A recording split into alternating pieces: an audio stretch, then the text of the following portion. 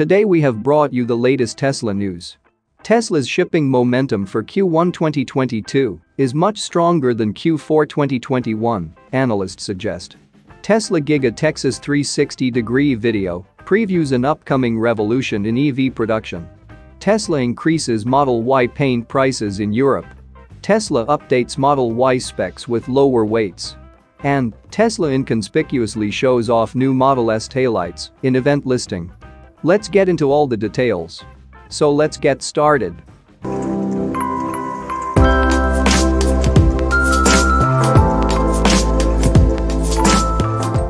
Tesla might have achieved record-setting vehicle deliveries in the fourth quarter of 2021, but a longtime TSLA bull recently noted that the company's numbers this Q1 2022 would likely be even better.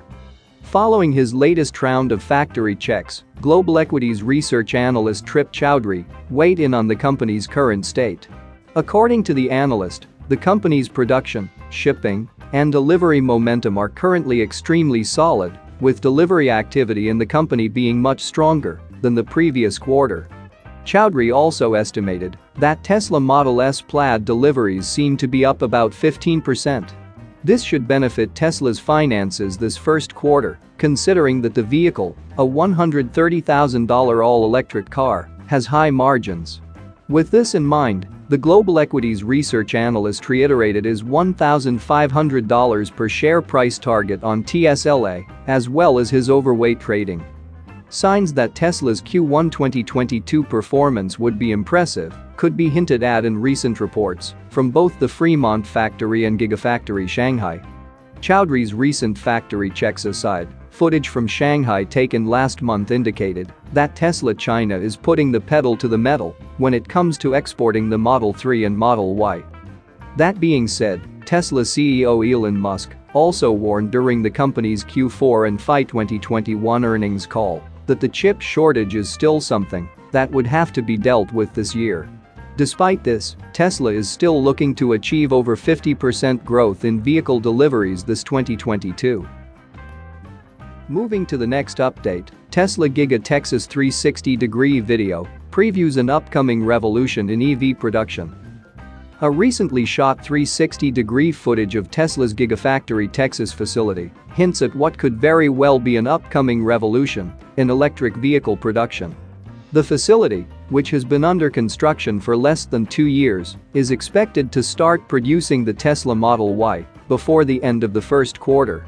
The stunning 360-degree footage was shared by drone operator Joe Tegtmeyer, who has been following Giga Texas progress since its earliest days.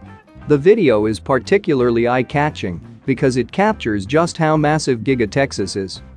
Tegtmeyer later remarked that his drone lost about 50% of its battery just by flying around the facility once. More importantly, however, the footage shows just how integrated the company's EV production in Gigafactory Texas would be. Quite unlike the company's existing vehicle production sites, the Fremont factory and Gigafactory Shanghai, Giga Texas is a gigantic monolithic structure. Previous comments from CEO Elon Musk noted that the facility would have three main sections, with gaps between them being large enough for semi-trucks to move around in. This is where things get particularly interesting. Just last month, Bloomberg noted that Tesla's Fremont factory in California is currently the most productive car factory in the country. Averaging a weekly production rate of 8,550 vehicles per week, or about 51 cars per hour, the Fremont factory was more productive than other notable auto plants across the country. These include Toyota's plant in Georgetown, Kentucky, BMW's facility in South Carolina, and Ford's Dearborn, Michigan hub. It should be noted that Tesla's Fremont factory would likely be the company's least efficient vehicle production facility in the long run.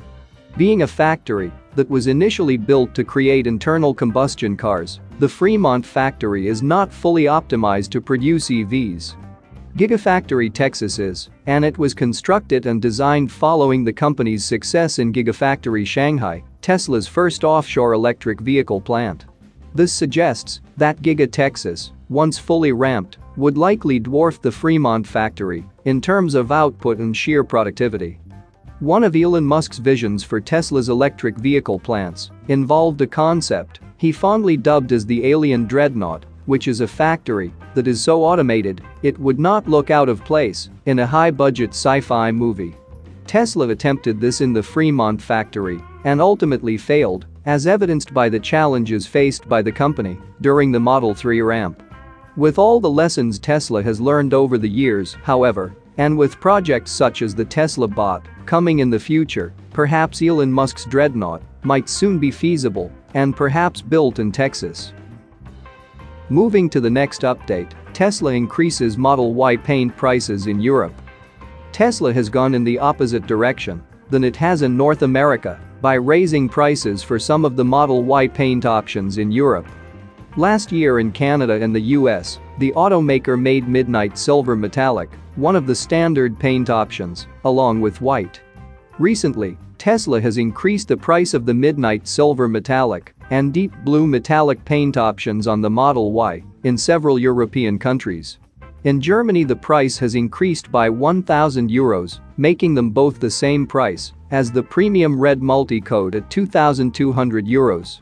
Owners in other European countries also reported similar price increases. In France, the price was increased to 2,100 euros, while in the Czech Republic, it now costs 2,450 euros. Making the price increase even more perplexing is that there were no similar changes for the Model 3. There have also been no changes to the paint prices in North America. So it would be interesting to see if this price change makes its way to North America in the coming days. Moving to the next update, Tesla updates Model Y specs with lower weights.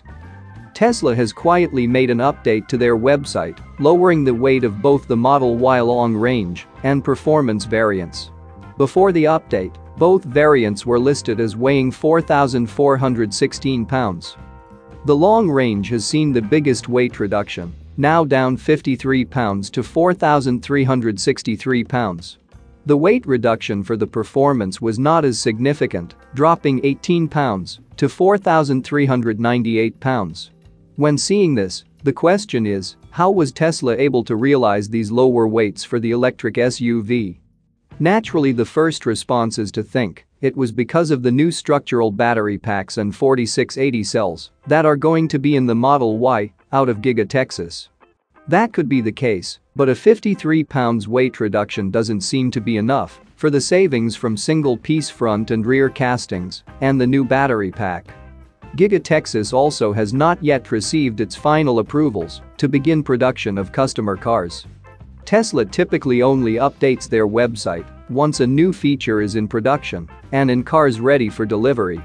We also don't know if Tesla is going to continue making Model Ys with the current 2170 cells at Fremont.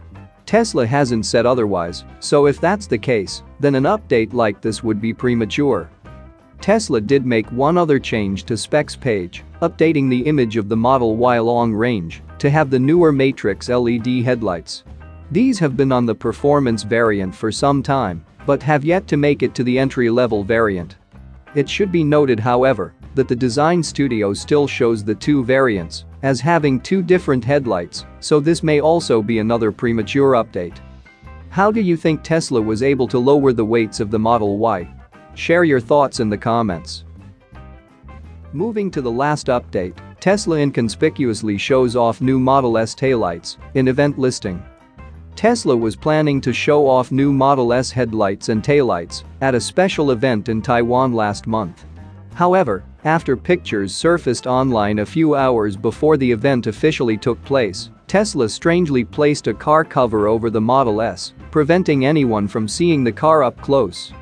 Recently, Tesla inconspicuously shared an official image of the new taillights and integrated charge port door on their event's website. The new image is unfortunately not very high quality, but we can see the trim piece on the trunk no longer extends into the taillights. The illuminated section of the taillight is now also a little narrower, with a black section underneath. We also see the new charge port door which can feature a CCS plug for those markets that use that charging standard. We still don't know when Tesla will add the new headlights and taillights to their production lines, But with the unveiling of them last month and this new image appearing on the website recently, it should happen very soon.